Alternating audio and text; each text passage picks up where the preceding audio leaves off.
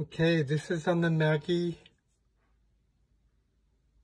Acomo job number 54676. Um, this is video two of two. This is the top floor, second level.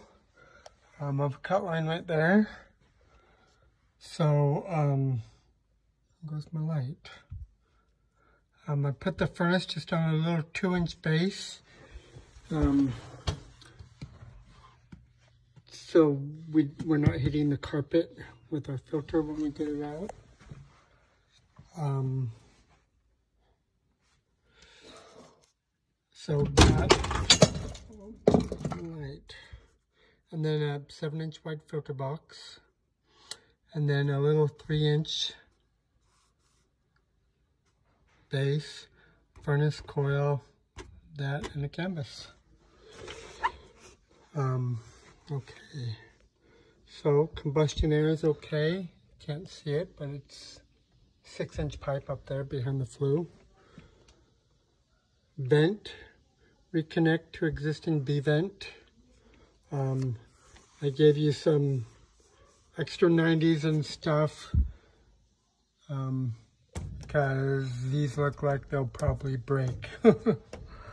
so just in case you need to redo this, that's what that's for. They look to me like they're gonna break. um, so your gas, this is the shows. So from the cock, you're going to add a four and then a flex, and that inside your furnace to T and drip. AC, I basically went over those already on the first one, so same thing.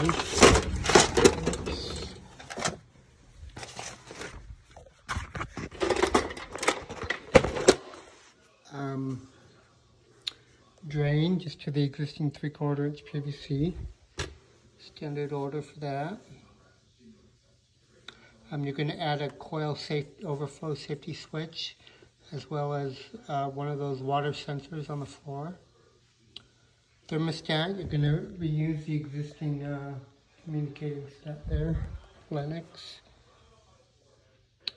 Um, so you're going to patch the ceiling with metal. Um, so I just gave you a piece of metal as big as this furnace room. So cut it to fit and bend your angles as needed.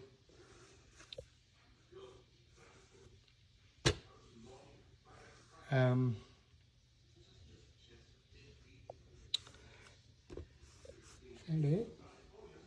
That's it.